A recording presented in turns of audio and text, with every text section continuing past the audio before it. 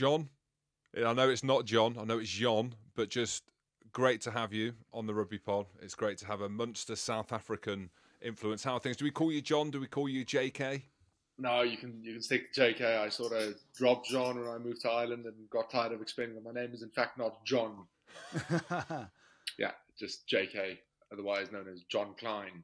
John. John's a good strong name. But... JK is cool though, isn't Jean. it? Uh, what do the boys call you in South Africa? So you're JK in Munster. Yeah, it's it's JK at home just as well. JK everywhere. Yeah, we've just we've, we've, we've, stuck with it. Well, let, let's start on that because, yeah. like, for me, being pitch side where you lads were was just absolutely phenomenal. I know it feels like years ago since the World Cup final and everything that happened there, but just as an experience, mate, just let's start with that. Like, how cool was it? Unreal, man. Um, it was obviously I, I it, it, took me about a month to realize I was actually at the World Cup because I was still trying to figure out how I made the Springbok team, and then you know everything ensued after that. So um, I I've, I've, got a bit of a lag in my head. I'd say I only just realized we won the World Cup last week. Um, you know, just trying to keep up with, I suppose, all the changes the last few months. It's been it's been a very upside down kind of kind of year for me, but in the best way possible. Like, I mean, I I never imagined I'd end up playing for the Springboks. Never mind playing at a World Cup for the Springboks forget about winning a World Cup with the Springboks. You know, that was completely different level for me. Mainly, I want to hear about the celebrations because it must have been a crazy few days. A, winning the World Cup, not many people can envisage it or have lived it, but then seeing the scenes going back to South Africa. Firstly, talk us through the night. You win the World Cup, you lift the World Cup, there's beers in the changing rooms, everyone's loving life, happy. There's budgie smugglers everywhere. Faf's budgie's tiny, but he's still got the smugglers on. Um, uh, but the celebrations there must have been huge. And then t- talk us through the night out. I, I want the pure details. The Saturday night, Sunday, then back to South Africa, and how good all those scenes were because it looked incredible. There wasn't much of a night out, to be honest. It was a, it was very much a night in. We um, obviously straight onto the beers when we got in the change room. It was all um, all fun and games. Load of couple of speeches made. Um, you know, a lot of lot of happiness few tears. Um, it was it was class, just the experience from start to finish. And then after that, straight home into the hotel. We all locked ourselves in a big room with a load of ski masks and got on the booze. Essentially, it was um, no, it was it was a serious celebration now, long lasting, and um, yeah, I I had to actually leave at me and the me and the wife were over, and we had to actually leave at five thirty um, to go collect my son from my in-laws' place. We sort of had to go and collect him because they were flying out a couple hours later because they they'd come over to mind my son while my missus um, went to the game, which was you know very very sound of them. So yeah, we ended up grabbing an Uber at five thirty in the morning. Um, so that was that was a lot of fun. Grabbed the child, came back, and then basically went straight on the beer again. And then my mother arrived to look after him. So it was um, it was a bit of a passing it from one grand grandmother to another. Um, but no, look, it was it was insane, man. And then Sunday was a full day. Um, I think everyone hit the hay at around twelve o'clock on Sunday night because we had a we had a flight the next morning at like seven thirty or something. So it was on the bus for six o'clock, and then yeah, it was it was a very very good flight. I I've never seen so many people in business class actually trying to get into economy. Oh, really? Um, Reverse? Yeah. I'd, I'd say there was there was a lot of people just trying to escape the escape the general area where we were. It was one of those Airbus A380s, um, you know, where the top floor is yeah. all all business class. Yeah, there was rumours that Rassie was flying the plane. Is this true or not? you know what? It, it could happen. I'm your pilot. he's, he's, he's done a few things. He's done a few things in his life. Yeah, absolutely amazing. I mean, it's crazy when you unpick it, JK. And let's get straight into your story. This eligibility stuff came in, I would say, more so to benefit the likes of Samoa, Tonga, just to name two, for example. And we've seen that other teams like obviously South Africa in your story is probably the headline one because of what you've been through. Just talk us about how crazy that that was in terms of your journey to leave South Africa, the country that you love, that you're from, that you are, to Ireland to play for Munster. You get capped by Ireland, which is your adopted country, which we've seen. It works for a lot of players. I'm sure it was absolutely amazing at the time. But then that emotion, then to get picked by South Africa while you're still playing at Munster and play for the nation that is your blood to your core. It, like it's it's a it's a long story. So like I mean, obviously it, it starts with me leaving the Stormers at 22 when Rassie gave me a phone call and he was like, "Listen, I'm going to Munster. I need a lock. Do you want to come with?" And that was sort of me just thinking, "Well, I'm 22. I've got nothing tying me down. Might as well take a chance on it." Um, you know, to then four years later, um, or three years later, playing for Ireland at the next World Cup, which was obviously a dream back then. Like it was, I I didn't think. I mean, I think I I was I was eligible on the 8th of August, and I made my first appearance on the 10th of August or something. So like, I only squeezed in eligibility there by like two days. Um, and obviously under Joe Schmidt got a got a good bit of game time, um, played a good few matches, and that was it was a great experience um, playing for Ireland, and you know massive honour. And um, yeah, you know, coaches changed, and I obviously wasn't what um, Andy was looking for, which is fair enough. You know, um, every coach has his has his um, you know pick of what he wants, and you know one guy is different from another. Um, and you can see obviously Ireland's Ireland system's working very, fairly well for them at the moment, and Andy's doing really well. So you know I've no I've no hard feelings about that, but I'd sort of made peace with the fact that my international career was done. And then yeah, the Sunday morning after the URC final, got a call from Rassie, and he was basically said, "Listen, if you want to, if you want to come join us for the for the rugby championships, we really, we'd really um, love to have you." And obviously, I was still pissed, so um, that didn't didn't really remember too much of the conversation. Because you won it in South Africa as well, didn't you? Yeah, we won it in South Africa. Yeah, it was down of in course. Cape Town. Yeah, yeah, yeah. It was, it was crazy. Like, um, went over I'd say there was two thousand Munster supporters, and the rest were all Stormer supporters. So we yeah. were we were up against it, but it was it was a great result for us. Obviously, off the back of what could have been a nightmare season, the way it started. I think we lost five out of seven or something at the start of the season, mm. um, and it wasn't looking very good. But turned that around and ended up winning the cup, which was obviously a, a massive, massive um, achievement for us as as a team and as a club. Yeah, back to back to the original story. Basically, got the phone call of Rassie at 9 a.m. Um, and yeah, unexpected to say the least. Uh, but spent the next few days sort of debating the pros and cons of it with with my family, and obviously off the bat you immediately want to say yes, but then you realize there's repercussions and you know there's a lot of things that could have gone wrong since then. But I've been really fortunate in the fact that everything sort of worked out for me this year.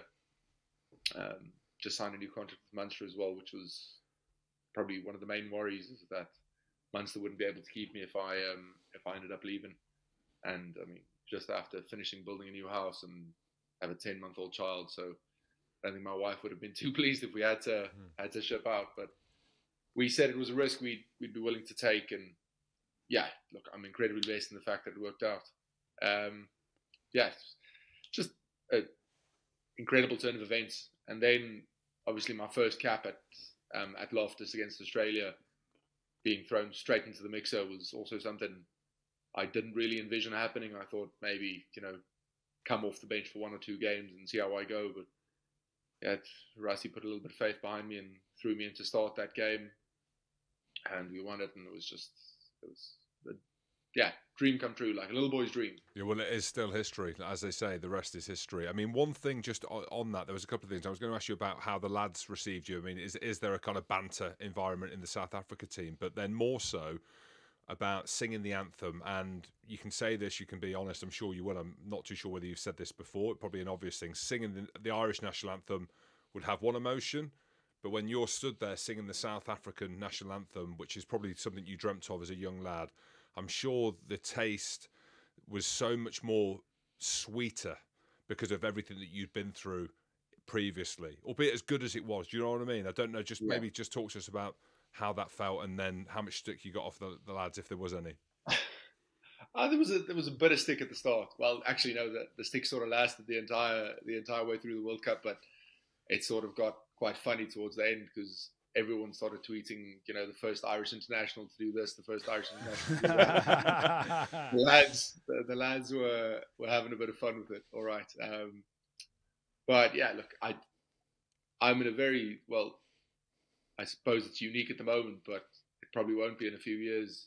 Um, in regards that I played for two tier one nations at two World Cups, um, one after the other. I mean, obviously, very very honoured to do to do both, and um, then you know to win the World Cup with my home country is, yeah, obviously, I think you know it's where you grow up. It's it's how you've identified for your entire life. So it it means a whole awful lot. Um, mm. Not saying that the Irish um, caps and the Irish anthem didn't mean much. I mean, it's, a, it's my adopted country. I've lived here seven going on eight years now, and it'll be ten by the end of my next contract. My wife's Irish. My son was born here. Even my even my dogs are Irish. So um, an Irish wolfhound. Yeah. Yeah. Oh, geez. I I wish I've got two beagles and they drive me insane. Useless dogs. But that's what um, I mean with your relationship with Ireland then, because I wasn't aware, not that I should have been aware, but you've got an Irish partner. You, yeah. Your kid was born in Ireland, I'm right? Yeah. Yeah, absolutely. The, the, dogs roots, are Irish. Roots are there, yeah, the they? roots are there, of course. Yeah. But it's, it is a really unique, crazy story. Was there any chat around the Ireland South Africa game when obviously the Irish beat you boys? Uh, and some of the Munster lads were like, "Oh, you picked the wrong one there, didn't you, son?" yeah, there was a bit of that, but um, who?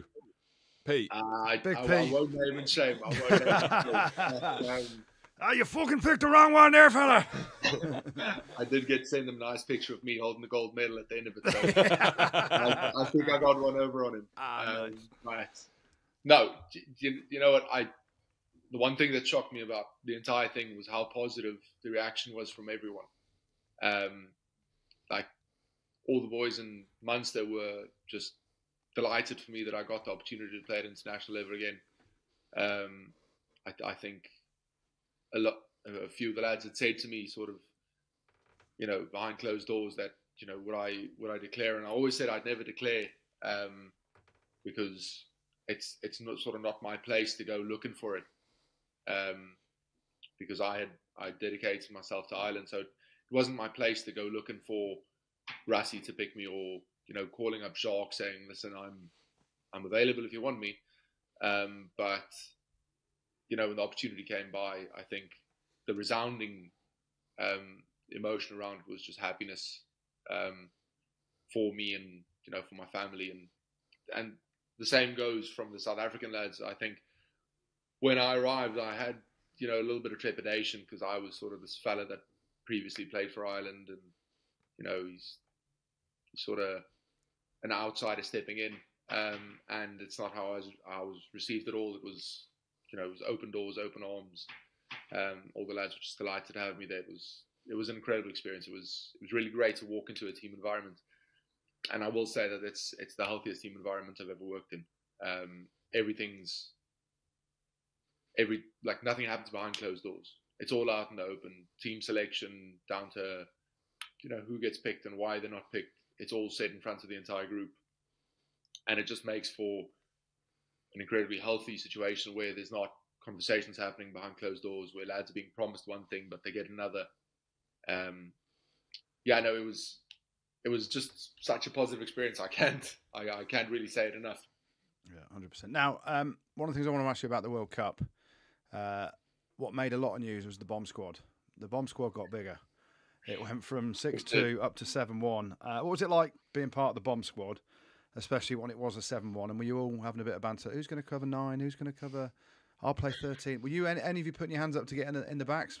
I'd, I'd, I'd, say I could put my hand up but I'd be laughed laughed out of the place. um, but no, do you know what? There was actually there was um, a few of the lads who were covering like four positions at a time. Um, and uh, look, I, I, think it I think it says a lot about how talented some of the players are. You look a guy like Pieter-Steph was covering, you know, he was covering both flanks. He was covering eight. He was covering lock. He was covering wing. Um, same goes for Kwagga. Kwagga was also covering four or five positions. Uh, it was insane. But you know, at that first, I, I think the first appearance of, of um, you know the seven-one split or the nuke squad or whatever you want to call it, that um, that game against New Zealand, that was uh, that was quite an epic one because we literally all went on at the same time, and it was this one for one switch, and it was in, it was intense. Um, you know, but it was you know, it was like cool to be part of. You know, like in the week when Rassie's announcing that, is there, is Rassie like, lads, I've got something that is going to blow up, like this is going to go mental. Everyone, we're going to laugh about it, but it's going to be so so effective. I want to know how Razzie tells the story. Does he tell you like that? Does he say like bomb squad and then he announces there's only one back on the bench? Does he have that crack with you? Yeah, he does a squat drop and then he says it, and then you know. um, no, he's uh, in fairness, he does say, "Look, this is probably going to cause some controversy." And um, in fairness, he always does put his hand up. He goes, "Listen, if this goes poorly, they're going to say Rassie and Jacques are the two dumbest coaches in world rugby. Yeah. But if it goes well, it's going to be great." So um, no, that was. I, I think the first announcement of it was a little bit unexpected because um, the squad's announced on the Monday uh, with a box, yeah. which is you know it's different to some teams I've played with. Um, so it's sort of you've no idea who's going to be picked, and then all of a sudden the team's just on the, team sheets up. Yeah, um, in there. So it was a bit of a yeah, it was a bit of a shock for me, um, especially being picked in the finals team. I I I thought my playing journey at the World Cup had sort of um, ran its course because uh, I there was there was talk of us going seven one against um, against France in the quarterfinal. Then that didn't happen, and I thought you know Rassie and Jacques they're probably going to stick with with a bit of continuity, and shit, I was shocked. Let me put it that way. Um, but obviously delighted, gutted for the lads who didn't make the make the team off the back of it, but yeah, I know. Such bomb cl- squad. I know bomb squad. What a thing to be a part of, and such class players as well. And you've been on both sides now with Ireland. I know they didn't win the World Cup, but been the best team for so many years. The last couple of years, certainly. When you go back into that South Africa team, and you mentioned some of the players like Pieter-Steph Toit, like Kwagga Smith, who had a huge input. I spoke to Jesse Kriel after the final, who was absolutely immense. Yeah, Just give us an idea of a couple of the players there that are the very, very best. Where you've gone in there and you've gone, holy shit, this lad is incredible. I know there's a few, but who's the there, one? Is there one, JK? Few. There's a good few. Like in in terms of scrum, like to be honest, the amount of the amount of work that the props put into actually analyzing the scrum Eating. astounds me. Oh. It astounds me. Like I didn't think you could put that much work into watching scrums, but guys do you know three four hours of just scrum review. And I mean, if you've watched a few scrums, enough. it can get tedious. Two's, so, two's um, enough. Yeah, like from that perspective, you know, I, I have to give it to them. It's it's incredible. Um, Ox, different level. Lou said like that guy. Talk about impact. I'd, I'd say, you know, you can't really say, yeah, one guy came on and made the winning difference against the team usually, but I think in that England game, he came on the semi final and he just absolutely pummeled the lads. Yeah. Um, so that was, for, for, from that perspective, I think Ox is class. And then there's a few big big rugby brains like Andre Pollard is yeah, it's class. Yeah. He knows he knows what rugby's about. Um, I saw, him at Leicester, I saw him at Leicester yesterday, and I said, "Fuck you, Andre, for beating England." And he was like, "Sorry, bro." Yeah, look, it's it's just one of those things. He just understands how rugby works. Yeah. Um, he's got a real calmness about him, and in general, um, no, I mean, I could probably name someone in every position that's that's class because that's just that's the level the boys are at. Um, mm-hmm. You know, JC, as you said, I think he was probably one of the best players at the World Cup this year. Eben, I mean, what a presence, um, physically and you know behind closed doors. He, you know, he, he he's obviously he's I think he's the most capped Springbok of all time now. Um, mm. You know, he, he leads he leads from the front and he leads physically and he leads with his words as well. Yeah, I know. It I shows you it- it shows you how many amazing South Well, that's there what I mean. across It's- the world, isn't it? Yeah, it's almost like on the spot, and I, I say this because if we were going to carry on, and naturally we, we were going to talk about Siya. Siya Kolisi's the front man, right? And you forget that, well, you might not forget that Siya gets brought off after 50 minutes, and then the bomb squad comes on, and he takes that as a leader really well. I was chatting to my mate Roddy Grant, who's at Ulster, and he was like, b- maybe because Duane Vermeulen was at Ulster, but he was like, he's a huge part of the Springbok and the leadership side of Yeah. things as well. And you think with Duane as well, he didn't play. What was it in the quarter final? He got he didn't play in one of the big games. It might have been against Ireland. It might have been, and then he obviously went on to Yeah. star as well. But like these Yeah. players, not unsung heroes, but just ones because Siya's the front man, right? He's the front Yeah. man that you see and all the stuff, Absolutely, which is amazing for South Africa. like all credit to him. He is fantastic. Like he's a great player and he's a fantastic leader. And I think we all buy into him being captain because he is genuinely a fantastic captain. Um, but it's it's so much bigger than that in terms of there's. But Siya's Siya's a guy who always says it as well. You know, he he often says it's not it's not the Sia show. You know, it's he's he's just one of the cogs in the machine, and he's now in fairness he's, he's a pretty big cog Yeah. but you know, there's there's a lot of guys that play a big role. You know, you mentioned someone like Duane. Duane is also was a very influential guy at the World Cup. Um, but yeah, I, I I think often the perceived picture from the outside is different from what's going on behind closed doors. You know, what's going on inside. Um, and I think we did fairly well to keep the perceived picture.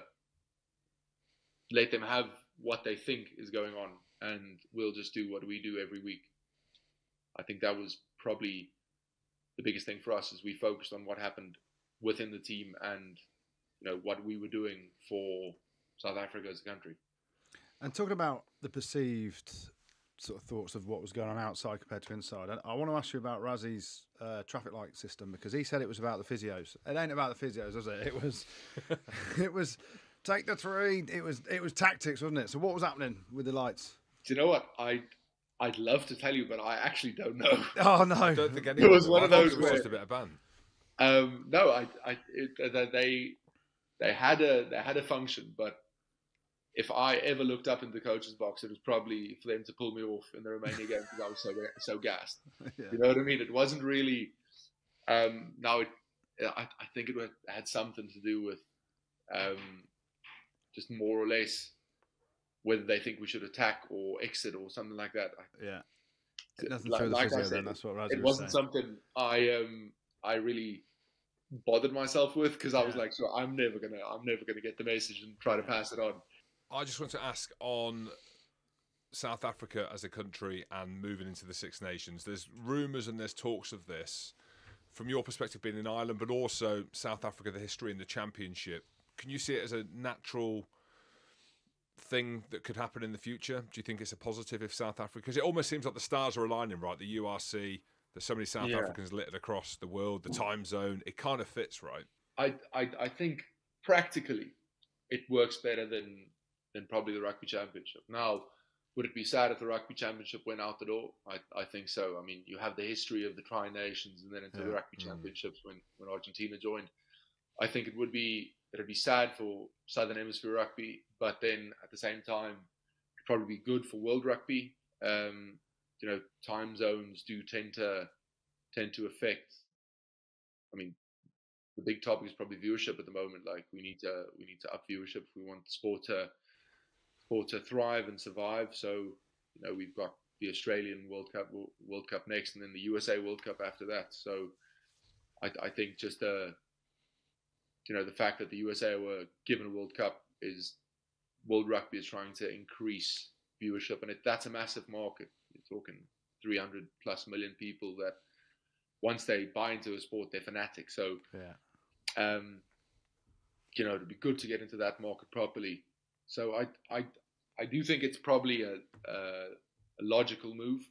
Um, whether it'll happen, I mean, obviously that's not for me to know or decide. There's people that get probably get paid a lot more than me um, that are in charge of that.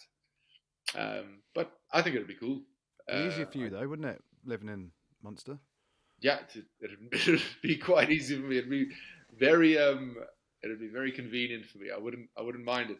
Ma- So my- JK says it's happening. It's happening, boys and girls. Yeah.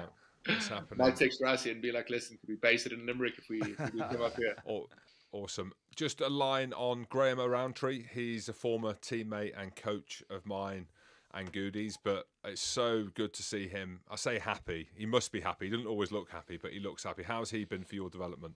Great. He's he's fantastic. I think as a coach and both as a bloke, I, I think he's, he's a great yeah. guy. I think he's a fantastic rugby coach. I, I think the biggest thing that works for him is the fact that he's an ex-player, and I mean not just an ex-player. Obviously, he's incredibly, um, incredibly well, what do you, well achieved. Like Yeah, Yeah, well achieved, yeah. well respected. Yeah, 450 something professional caps. That's yeah. Yeah, he's a legend. Yeah. yeah Like, absolute legend of he's- bloke. proper rugby legend. And I think, in fairness, he's probably going to become a coaching legend as well. He's, um, yeah, he's he's great at pulling the team together, and he's great at getting the boys to buy in. I think he's got a good team around him at the moment, um, which has been approved this year as well.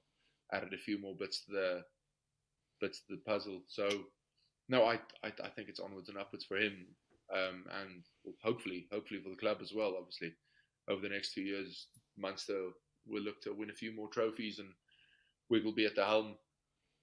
Um, but yeah, no, I, I, I can't speak highly enough of him. I think he's a great fella. Uh, he gives me an awful lot of shit. He loves being called Wiggy as well. So if you want to call him Wiggy, Wiggy, yeah, no, I've heard he loves that. Yeah, I'll, he I'll loves really, being called Wiggy. So I'll throw that a few times in my next meeting with him. I'll go, "Hey, Wiggy, how you doing? Nice to see you again." Pod, pod, pod, pod. Rugby pod.